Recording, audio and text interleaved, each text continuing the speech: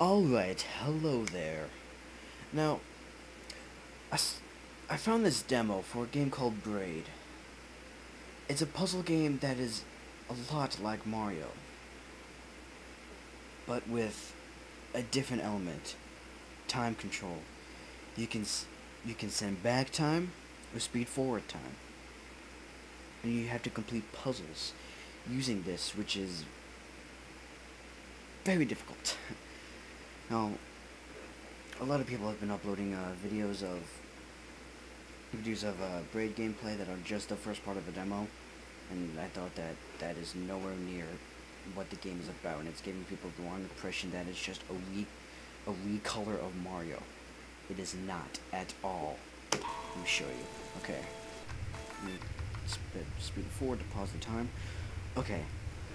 Right now, the time is forward, and it's forward so far that it's kind of stopped until I um unforward it. Now, things that are glowing green like this are not affected by your time control. So, what you have to do is, now he, that guy, he can pick up a key, and he can fit under there, and you can't. And he goes under there, picks up the key. But the puzzle is, and I just realized I was pointing at the key. Yeah, that really helps you. Anyways, the key over to the left, in the little alcove. What you have to do is get the little guy that fell and died on the spikes to pick up that key for you. So what I'm gonna do, push the lever.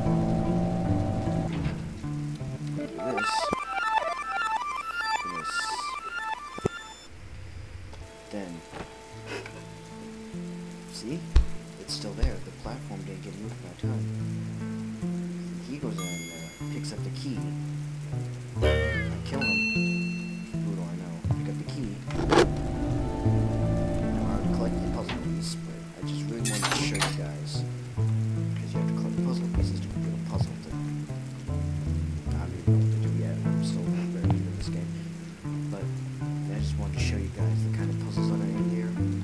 This, there was a very annoying cloud puzzle you had to jump on clouds, and there was two rows of clouds. One one row wasn't affected by time. Oh, so annoying. So, well, that's all.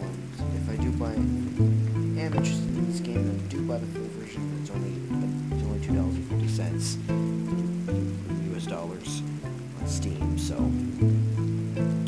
yeah, that. So you can it yourself. The demo's free, of course, on Steam. So, I hope you enjoyed this. Fare, fare thee well, my fillies.